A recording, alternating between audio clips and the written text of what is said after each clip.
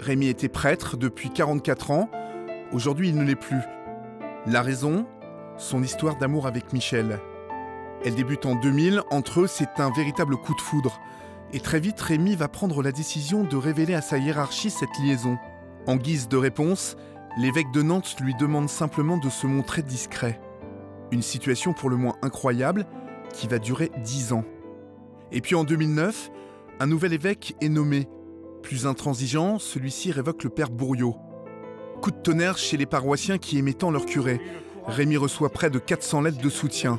les chrétiens qui s'interrogent et t'assurent de mes prières et de pensées très cordiales. La révocation est encore toute récente lorsque je rencontre Rémi. Trois mois à peine qu'il ne porte plus la soutane et je sens encore beaucoup d'émotion chez lui. Père Bourriot, ces quelques lignes, je tenais à vous les écrire. Jésus est amour, charité, don aux autres. L'amour dans un couple est à l'image de l'amour de Dieu. Votre franchise vous honore. Oui, Rémi, je pense que ta franchise t'honore. ça, ça, vous, à chaque fois, hein, c'est quelque chose qui vous, euh, qui vous remue énormément. Mais oui, oui. Ça remue énormément mon, mon émotion, mes sentiments, parce que moi je l'aime, cette église. Ouais. Et vous auriez bien en fait euh, continué à vivre euh, cette aventure et cette histoire avec l'église en même temps que vous viviez ce grand amour avec Michel. Rémi et Michel ont donc vécu leur amour très discrètement pendant toute une décennie. Dix années de vie en cachette pour ne pas ébruiter cette liaison incompatible avec l'exercice d'un ministère. Une aventure tolérée par un évêque atypique. Au lieu de le sanctionner, il a préféré fermer les yeux afin de protéger ce curé apprécié de ses paroissiens.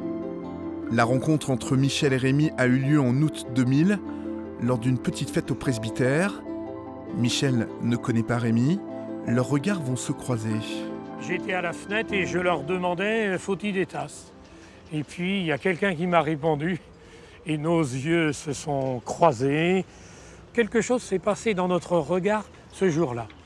Michel me regardait et moi je la regardais. Et, là, vraiment, il s'est passé quelque chose, euh, comment dire, qui, qui m'a touché au fond de mon être, hein, de, de mes yeux sûrement, de mon corps sûrement et de mon cœur sûrement. Et quand on se l'est dit, quelques jours après avec elle, elle m'a dit la même chose pour moi. D'accord, justement, j'allais. quelque chose. Justement, j'allais vous demander euh, comment, ça s'était passé euh, ensuite? Je l'ai rappelé en disant ah ben, Moi, j'aimerais bien te voir. Vous aviez une petite idée derrière la tête Elle m'a dit Oui. Oui. Ah ben oui, oui, oui, oui. Oui, oui. Puis elle m'a dit ben, Moi aussi, euh, viens donc. Quand vous le racontez comme ça, ça paraît simple. Hein? Ça paraît tout simple. Mais quand on est prêtre, et ah, qu'il arrive ce, type de, de sensation Ça, c'est une grosse question, mon cher ami. Oui, c'est un peu je pour peux vous appeler mon cher ami. Oui, vous pouvez, mais, mais ça pose euh, peut-être euh, euh, un cadre différent que celui d'une histoire d'amour traditionnelle. Sûrement que c'est un cadre différent, particulier. Moi, j'ai toujours été assez libre un peu vis-à-vis de, eh ben, de la discipline de l'Église. Je la connais bien, la discipline de l'Église dans l'engagement au ministère de prêtre, il y avait obligatoire le célibat des prêtres. Vous avez pris cet engagement? J'ai pris cet engagement et je sais très bien que je n'ai pas tenu la fidélité à cet engagement dans, mhm. dans la société église qui est la mienne, que j'aime toujours. Bon, Michel est, euh, paraît comme euh, un amour incontournable à, partir de ce moment-là. Au bout de, oui, au bout de deux mois, ça m'a paru incontournable. Euh, donc, Dès le mois d'octobre, dans une équipe de collègues, de copains avec qui on se retrouvait, je suis rentré à, la réunion en disant les gars, je suis amoureux, amoureux de Michel. D'accord. Mais vous êtes prête? Le jour où je l'ai dit à mes collègues, je ne me sentais pas très différent des autres amoureux. Mais je sais bien que je suis prête, mais je suis d'abord un homme. D'accord. Je suis d'abord un homme. Mais quand, vous, quand vous annoncez à vos, à vos copains prêtres que vous êtes amoureux Ils ont été un peu surpris. D'accord. Ils ont été un peu surpris, puis, hein, mais bon, ça les a fait parler aussi sur leur vie affective. Pourquoi est-ce que vous l'annoncez à vos copains en fait? Sans doute que. C'est un défi que Je ne cache pas. Ça peut-être été un peu un défi, mais ce n'était pas ça la première idée. C'est pas, pas un défi. La, première idée, c'est que ce que je vis, il faut que je le dise. Faut vous le faut que je le dise, que je le partage, qu'il faut, faut que des gens le, le sachent. Vous vous doutez quand même que euh, vous prenez certains risques en, parta- en Oui, partageant ce absolument. type d'informations. Absolument. Je ne voulais pas que ça reste caché. Et je l'ai dit dès le début de l'année 2001, je l'ai écrit à mon évêque. Qu'est-ce que vous cherchez euh, dans, dans, dans ce Je message adressé à votre, à votre évêque? Je voulais qu'il le sache. Et qu'il sache que, eh bien, qu'avant tout, j'étais un être humain, doté d'un cœur et d'un corps, et, et puis d'une intelligence humaine, et de, et de la possibilité d'un amour humain. Vous saviez très bien qu'en écrivant à votre évêque, euh, vous preniez le risque euh, d'être évoqué. Ah ben, il aurait pu me révoquer tout de suite, oui. D'accord. Alors je ne sais pas quelle aurait été ma, ma décision. Je pense qu'elle n'aurait pas été celle de, de 2011. C'est-à-dire S'il m'avait dit, euh, Rémi, d'une manière impérative, il faut choisir entre Michel et le ministère, je ne peux pas vous dire la réponse, puisqu'elle n'est pas venue la question. Elle n'est pas venue Non. Mais si elle était venue Mais elle n'est pas venue. vous- donc, Non, mais euh, vous, vous y avez réfléchi depuis? Mais on y a repensé un peu avec Ouais. Michel. Et c'est là qu'on s'est dit, euh, si dans l'année 2001, il m'avait demandé euh, de choisir impérativement, moi je pense qu'en 2001, j'aurais choisi de continuer le ministère. Mais c'est la preuve que vous étiez quand même très très attaché euh, à votre mission euh, sûr, euh, oui. de prêtre. Et J'avais que 34 ans. J'ai 34 30 ans. J'avais 34 ans de vie de ministère derrière moi. enfin, avec moi. Eh bien, j'avais sous-jacent cette passion de la présence féminine, c'est vrai. Est-ce que cette relation avec Michel, vis-à-vis de votre engagement vis-à-vis de l'Église, célibat, oui. est-ce que ça vous posait euh, un problème Ah, quand bien même sûr que ça me posait un petit problème, c'est obligé. Mais très vite, moi, je l'ai dit à Michel, je dis la règle du célibat, pour moi, elle n'est pas une règle intangible. Aujourd'hui, c'est la règle de l'Église chrétienne, catholique et romaine. C'est pas la règle de l'Église universelle, mais elle est dans, elle est dans la tradition latine. C'est vrai. Comment est-ce que vous expliquez que vous. Et euh, à la différence de vos collègues, comme vous les oui. appelez, vous avez craqué Ah mais oui, mais craquer, c'est- un sacré bon craquement, ça. Ben oui, C'est vous- pas je manquer d'amour. hein, c'est- mon cher, C'est mais pas manquer d'amour, c'est c'est trouver un amour d'une manière très humaine. Et c'est vrai que dans le célibat qu'impose l'Église latine, cet amour humain, tu, enfin, vous ne pouvez pas le, le rencontrer. Vous n'avez pas le droit de le rencontrer. Et, et c'est un peu là-dessus que je suis pointilleux, c'est sur ce droit que nous n'avons pas.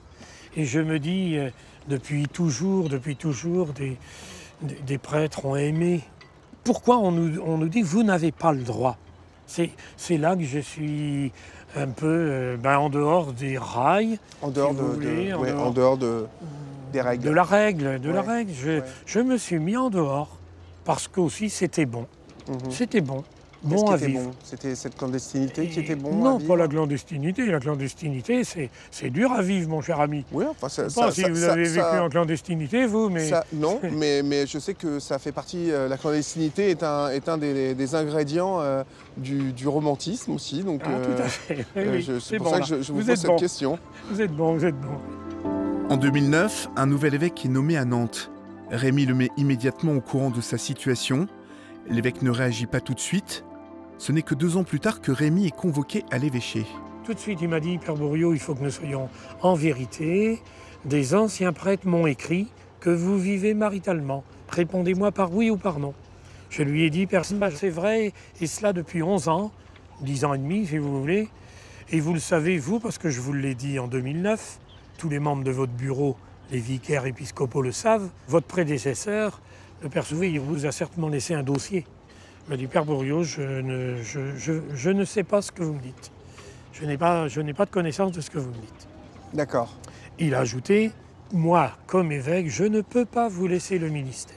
Ben, je dis, Père, euh, ok, je, je sais bien, je m'en doutais, je vous remercie de m'avoir permis de vivre avec Michel sous votre mandat d'évêque depuis deux ans, puis je remercie euh, euh, le prédécesseur pendant dix ans. Pendant l'été 2011, la presse se saisit de l'histoire comme d'un fait divers. Le prêtre amoureux interdit de messe. Le père Bourriot fait la une. Pendant que Rémi est à la pêche, Michel me raconte comment elle a vécu ce choix difficile d'une relation avec un homme d'église. Se sent-elle coupable d'être à l'origine du renoncement de Rémi? Est-ce que vous avez culpabilisé à un moment? En tant que chrétienne?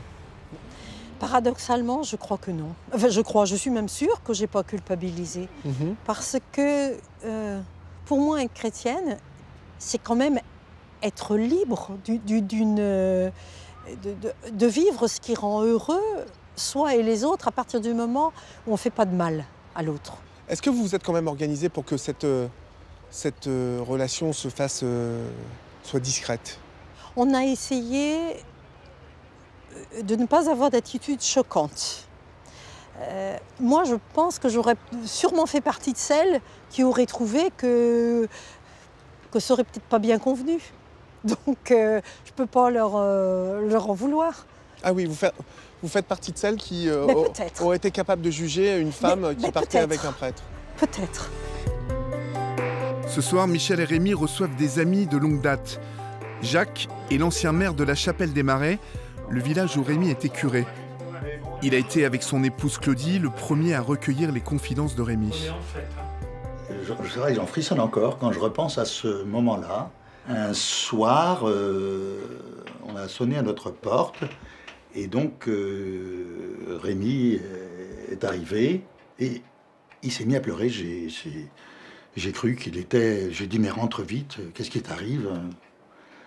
Et je lui ai dit t'es malade. On s'est assis et, et il m'a dit je suis amoureux, Jacques. Et il pleurait, toutes les larmes de son corps. Alors j'ai- bon, je me suis dit, mais bon, euh, ça c'est ça, enfin, c'est extraordinaire. Enfin, ça s'arrose plutôt que c'est. Tu me ferais pleurer encore ce Mais soir. hein. et moi je presque. Et, et, euh, j'ai dû dire, c'est merveilleux. Pourquoi être euh, venu euh, voir spécialement euh, Jacques et Claudie? C'était le couple à qui je pouvais dire quelque chose qui me sortait de, du fond des tripes. et que, que- et que visiblement, qui visiblement vous pesait pas mal C'est- pas que ça pesait, euh, je sais pas comment dire, hein, c'était c'était plein, enfin mon cœur il était plein d'émotions, plein d'émotions. Plein d'émotions. Eh bien oui, comme ce soir un peu. Mais il y avait sans doute, il y avait sans doute des liens très, assez forts entre vous, non Il y a toujours eu des liens. Oui, il y a, toujours, il y a toujours eu. Euh, moi, moi Enfin, j'avoue- je t'avoue- j'a- je- tu le sais, j'a- j'avoue franchement que j'ai jamais pensé pouvoir avoir comme ami un prêtre. Jamais. Mhm. Jamais. Et pourquoi ça? Ben, parce que euh, je suis pas croyant. Je suppose que quand on est euh, monsieur le maire et madame la mairesse, euh, et que le curé vient frapper en disant je suis amoureux, ça peut bousculer deux, trois trucs, Ça non bouscule un petit peu les C'est-à-dire que ce mais- soir-là, on n'a pas parlé de ce problème-là. Voilà, on en a parlé après. Oui. D'accord. Quand Rémi a dit oui. Qu'est-ce que je fais En fin de compte? Et tout de suite, Rémi a dit Mais je vais en parler à l'évêque. Et j'ai dit T'es sûr, Rémi, qu'il faille en parler à l'évêque? Hum, Il a réfléchi et il m'a dit Je pense que oui. Mhm. Alors je lui ai même dit Pour une fois, tu peux pas mentir. Bon, Bravo, monsieur c'est le un- maire. c'est- un péché, ça. le maire. M'aider à mentir, vous. Non, mais. Non, Ou, ou ne rien Comme dire. ça, c'est la politique, ça. Voilà. Non, mais, mais- ou, ne rien, ou ne rien dire du tout. Et pour Rémi, il ne- il n'envisageait pas, il n'envisageait vraiment pas de, de ne pas parler de son amour. Même à l'évêque. Je me suis souvent posé, on s'est souvent posé la question pourquoi ça ne nous choque pas? D'abord parce qu'on on adore les gens amoureux, moi. C'est c'est déjà, c'est- déjà bon. Et moi, je, je, je suis pour les gens qui s'aiment. Et je pense que lorsqu'on est croyant, on doit être pour les gens qui s'aiment. Mais cela dit, moi je pense quand même que les prêtres sont les seuls dans le monde des croyants, quelle que soit la religion, à ne pas pouvoir se marier. Et moi je crois vraiment qu'ils devraient se marier. Euh, ils ont un rôle auprès de la- tout près de la société, hein, vraiment au plus proche de la société. Et euh, c'est un pan de- de- d'une vie qu'ils ne connaissent pas. Et je trouve que c'est dommage. Même si, en- encore une fois, ça ne regarde pas. Je regrette qu'aujourd'hui vous ne soyez plus maire, monsieur l'ex-maire, parce que peut-être vous. Il aurait été possible que vous puissiez marier Ah oui. ces deux tourtereaux. Ah, je l'aurais- euh, je l'aurais fait avec grand plaisir. Mais je m'en doute. Ça, je l'aurais fait avec un énorme plaisir. Hein Il y aura peut-être des Un énorme plaisir. Ça aurait été quelque chose, ça, hein Ah oui. Rémi Oui, oui, oui. Il est tout ému, Rémi. Ben oui, c'est. Ben oui. C'est le Rémi. Tout. Quand il est venu, Voilà. euh, voilà. Voilà.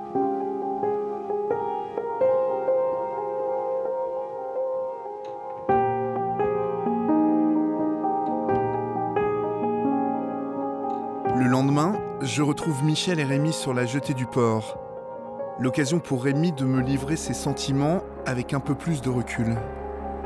Quel sens vous donnez à, à- à votre participation euh? Est-ce que vous avez envie de faire passer un message? Pourquoi est-ce que vous participez à ce documentaire finalement? Témoigner, témoigner que on est en chair et en os, on s'aime. Voilà. Il y avait une règle qui me l'interdisait. Eh ben, la règle, est- je l'ai mis au service de, de l'amour, moi. Et le aimez-vous les uns les autres comme je vous ai aimé, ça, ça me paraît bien plus fort que toutes les règles des hommes. Mais c'est vrai. Le mariage des prêtres est un débat qui divise les catholiques. J'ai bien sûr été sensible au témoignage de Rémi, à la sincérité de ses propos, à sa peine aussi. Il a été contraint de quitter son ministère alors que ses paroissiens auraient peut-être choisi de garder leur curé, qu'il soit célibataire ou non. Mais l'Église en a décidé autrement.